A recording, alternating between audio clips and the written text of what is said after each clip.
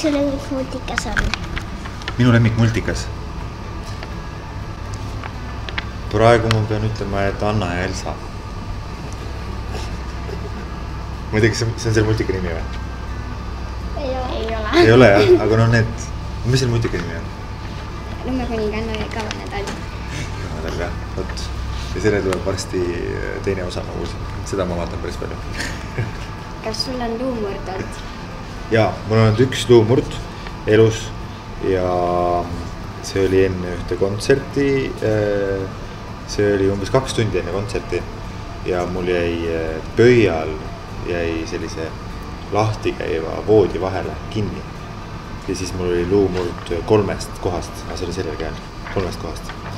nii et ma läksin siis oma bändi kontserdile, läksin äh, niimoodi, et äh, tulin arsti juurest, kips oli käes juhatasin kontserdi sisse ja siis istusin esimesse ritta ja kuulasin oma bändi kontserti. kas sa leiutada oskad? ma oskan leiutada küll jah. mida sa leiutada tahad?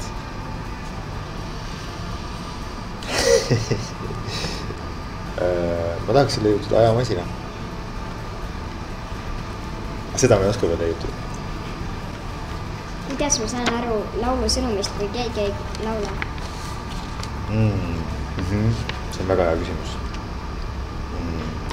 siis pead äh, ise mõtlema välja laulu sõnumi enda jaoks. kust tuli vaim peale?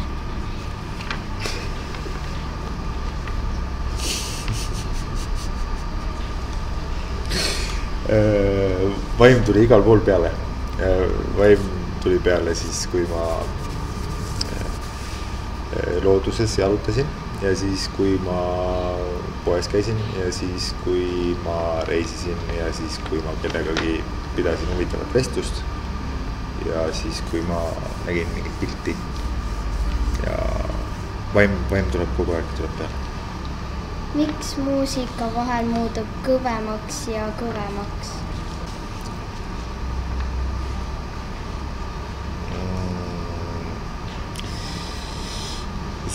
sellepärast, et kuidagi ähm,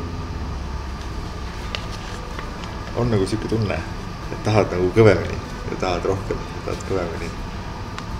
miks tuul pole ühendatud vaikusega? miks tuul pole ühendatud vaikusega?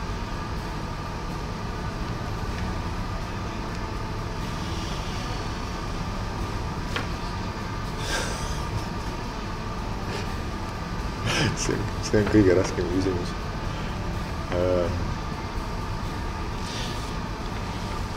tuul pole ühendatud vaikusega. ma ei oska vastata sellele, ma ei tea. tõesti. mis juhtus siis, kui sa esimest korda pilli kätte võtsid? siis ma võib-olla olin natukene, kõige esimene kord ma võib-olla olin natukene pahane, kohe jube hästi välja ei tule. mis on sinu lemmiktegevus?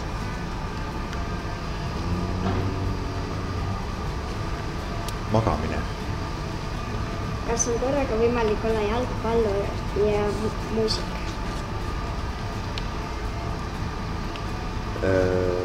ma arvan küll. ja ma arvan küll.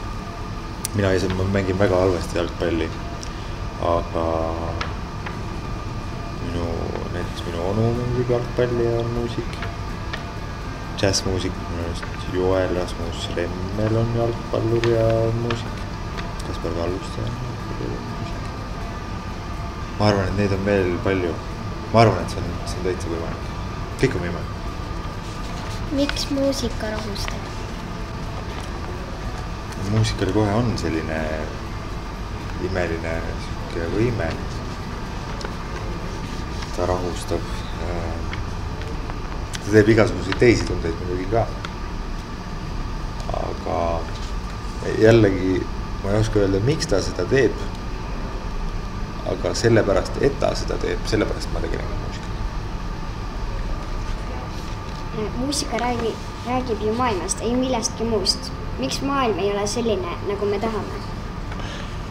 jah, miskipärast on niimoodi, et maailm ei ole selline, nagu me tahame. aga sellepärast ongi hea et saab teha muusikat ja kuulata muusikat ja teha ükskõik millist kunsti. ja siis äh, luua selline maailm, nagu me tahame. kui kaua läheb laulu tegemiseks aega? võib minna mitu kuud ja vahel võib minna isegi aasta aega. aga vahel äh, on tunni aega valmis